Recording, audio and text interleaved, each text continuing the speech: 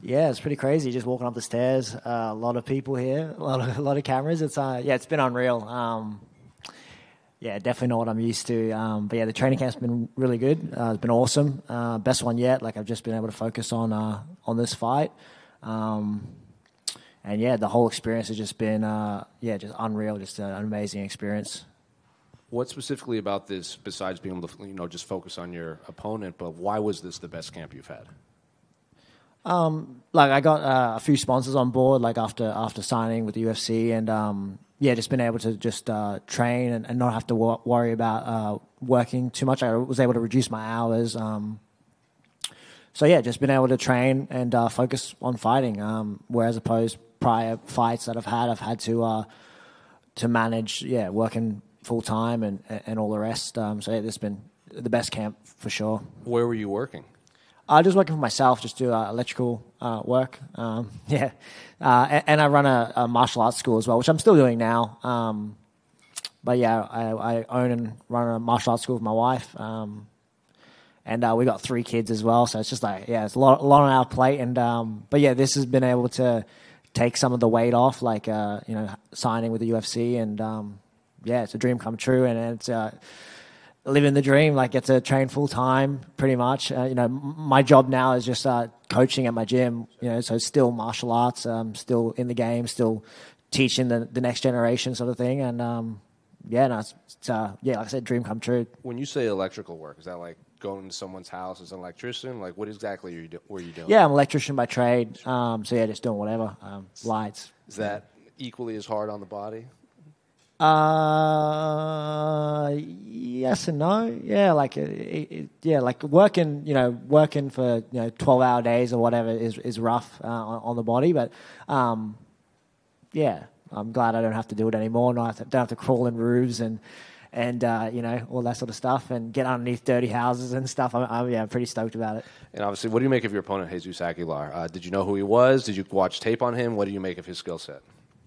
Um, I've seen it. I've seen just the one fight. You know, the one he's probably most famous for. Uh, you know, knocking out um, like another Aussie uh, from Gold Coast, uh, Shannon Ross. You know, I think uh, yeah, that that's that's uh, made the runs. Um, I saw that, but I, I didn't know him prior. Besides besides that fight, um, what do I think of him? Um, I think yeah, I think he's a power puncher with with uh, good wrestling. Um, he's had a he's had three fights in the UFC now and a, and a, contender series fight, so he's got you know some experience on me. But um, yeah, I'm excited about this fight. I think it's a good matchup for me. So normal because he had, most of his wins have come by submission, um, yeah. and then he his most famous one, like you said, though, was that pretty violent overhand. I think it was an overhand right that knocked him out. And you see sometimes grapplers can. When they feel that they can knock someone out, maybe they don't use their grappling. Maybe they get maybe overconfident in their hands. Are you expecting that, or did you prepare for the guy that you know has six, seven submission wins under his belt? Most of his submission wins, like uh, like the guillotines, like five of them, like they they usually like off a reactive takedown, like someone shoots takedown and grabs them, or um, uh, so um, like he's striking. He does strike. Um, like I watched some older film of him, um, and he does throw hands and then um, shoot for takedowns. But um, yeah, I'm just just ready just ready for everything he brings. But um, yeah, I don't know. I don't know what he's going to bring. Whether he's going to like, I imagine like he, the game plan would be to, to stay on the feet and, and strike a bit more. But um, yeah, we don't we don't know until we, we're in there. And then two two ones unrelated to your fight. Um, I know you're relatively new into the UFC and everything, but I don't know if you saw. But November first, they're going to implement those new rules that allowed twelve to six elbows and redefined grounded opponents. So I can see the smile on your face. Yes. That, do you like those rule changes? I love those rule changes. Yeah, absolutely. Bring back soccer kicks, as far as I'm concerned. Um, I, I, love those rule changes. Um, groin strikes, bring it, bring them in. I love it. I love it. Yeah, twelve to six elbows. That's that's great. It shouldn't have been. I think yeah, shouldn't have been a rule in the first place. Um, grounded opponents. That's a real interesting one. That's a real interesting one. Like uh, my my game's definitely developed uh, over the years, and like my full fights, last four fights, I've won all by TKO. So when I say grappler, like when I consider myself a grappler, it's a grappler to, to do damage. You know, so I take people down, try to finish the fight on the ground. Um, Twelve to six just gives me another uh, like inc- uh, yeah, my imagination's going wild with that. Like the positions you can get, uh, the things you can do, and then the knees, right? Like the knees to the head, Like it's only if your hands So are touching. You need na- the the new rules are basically you need something else besides your hand. So it'd be like your Yes. hand and your hip or your Oh, elbow. man. You can't play that game anymore. Yeah, yeah, that's that's incredible. I find myself in that position all the time. Uh, people playing that game, like touching just the fingertips on the ground, and I'm like, oh man, I wish I'd kick you in the head right now. Um, so yeah, that I'm really excited about that, especially that one. I find myself in that position a lot uh, when I'm when I'm taking guys down. They just place a hand on the mat to avoid uh, getting kicked or kneed. Um, so yeah, like I'm all for it. I'm all for it. Then last one, uh, can I get your thoughts on the main event between Dricus and Israel? yeah, no, what a, what a main event! It's incredible. Um, I, don't, I don't know how the fight's going to go. It's going to be an interesting one. Um, but yeah, it's a huge main event. Uh, I think uh, uh, I think Adesanya is going to take it and um, and upset upset a lot of people, and it's going to be epic. Stewie, just to your uh, left, mate. Back here. Hey Josh, how There you you doing? go. Good, mate. Um, obviously, a you know UFC event. You got a whole lot of new media here and, and new fans that uh, may not be familiar with you. I guess. What are some things you'd want the uh, the new members of the public and the, and the media to know about about you as a person and, and you as a fighter as well? Uh, great question, Josh. Um, yeah, I don't know. Um, what do you want to know about me? I don't know. Um, I don't know. I've been I've been in the sport for a while. I've been training for uh, you know 15 years. Um, yeah, family man. I got three kids. Uh, you know, was working full time job as electrician. Uh, you know, born in the Solomon Islands. You know, that's a interesting topic for a lot of people. I guess like first Solomon Island fighter to be on the UFC. I just got told that just in the back room um, by one of the, one of the guys um, that yeah, first Solomon born fighter um, in the UFC. So that's that's pretty cool. Uh, what else about me? I look to hurt people. I don't know. I just look to finish fights. Uh, that's something. I've got seven out of eight finishes, uh, and I'm always looking to finish fights uh, and put on a show. And on the uh, on the Solomon Islands, for, for those that might know might not know the story, I guess if you, if you were quick to share a, a quick little glimpse of, course. of what that was like, and and I guess yeah, the, the, the story you got coming over here.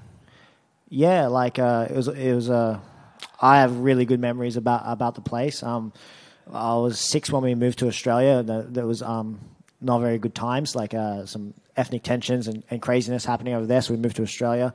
But um, I've got nothing but like amazing memories of the place. I went back when I was nine, when things settled down a little bit, um, and then things popped off again, and uh, you know, yeah, burning towns and it was a pretty crazy time. Um, so then we moved back to Australia pretty much for, for good after that. But I spent about nine years of my early early life in the Solomon Islands.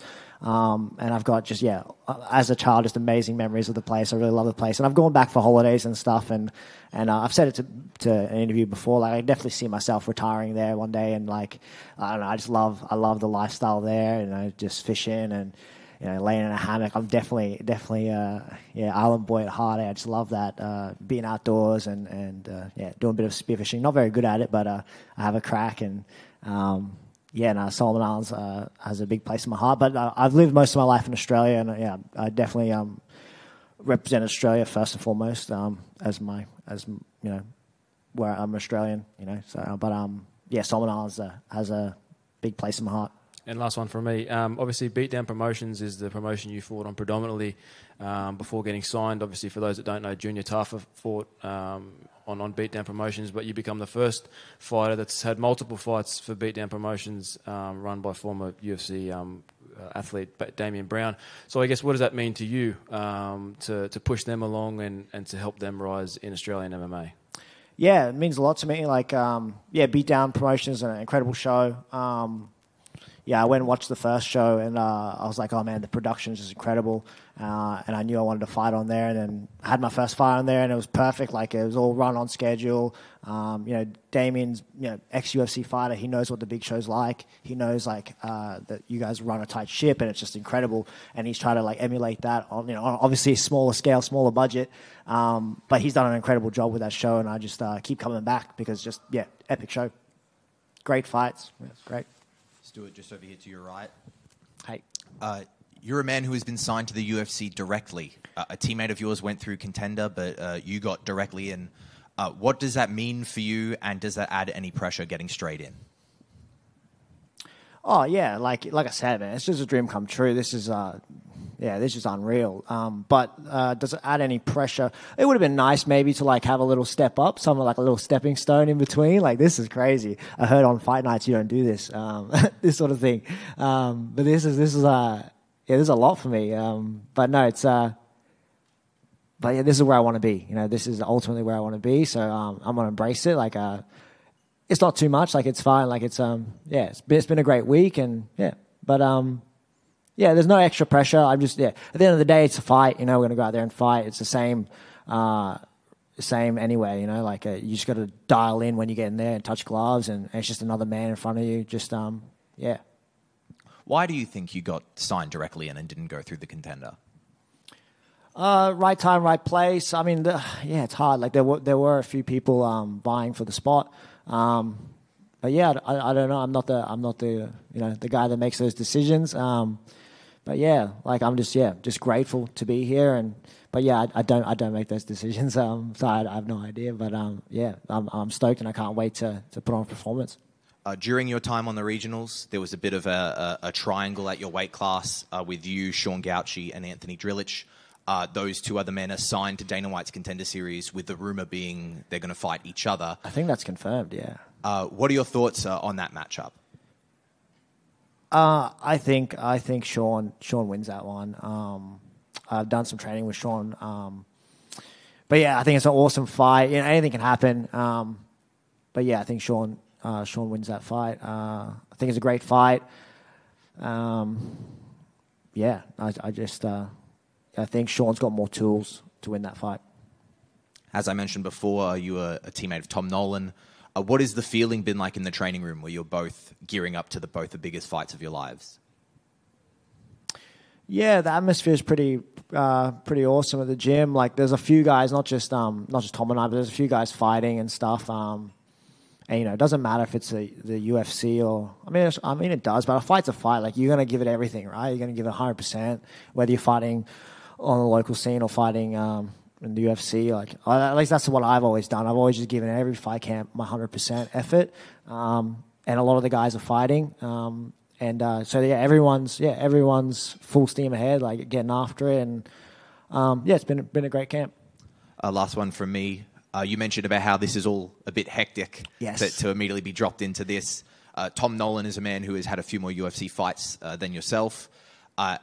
Did he give you any advice with dealing with kind of the new level that the UFC brings? Yeah, like I, I ask him questions and stuff, but you don't like, man. I still like take me by surprise coming up the stairs. Like you know, it's still like, you know, you can tell me what it's going to be like to walk out to six thousand people in RAC Arena, but like you know, to do it is something else. Like I, yeah, I'm excited. I'm excited to feel the same uh, feelings that I have now, like just excitement and um, yeah, you know, it's, you know, you can't prepare for it. You know, you just got to come out here and and uh, yeah, do your best. Thank you very much. No worries, thank you. And uh, Stewie, with your newfound fame, you've obviously got a lot of people online and comments. You've been posting it recently about just complete randoms with their thoughts on your abilities. Uh, how has that been to adjust to? Um, yeah, no, it's good. Like I, I, uh, I think there's a lot of comedy out there, eh? Like, uh, like a lot of positive messages. I've been seeing some weird memes and stuff and, and stuff out there. I, think it's been awesome. Uh, Tom, you know, sort of like, uh, you know, said probably like advice he gave me is probably like stay off that stuff. But I've been enjoying it. Eh? I've been soaking it up and reading the comments and, you know, liking and replying here and there where I can. You know, it's a busy week, but try to get back to people and, um, yeah, soak it all in and have a good time with it. And uh, finally, this is, uh, I mean, your first event. Of course, you're going to look back on this one day, and in five years, when you watch this back, I mean, where will you be?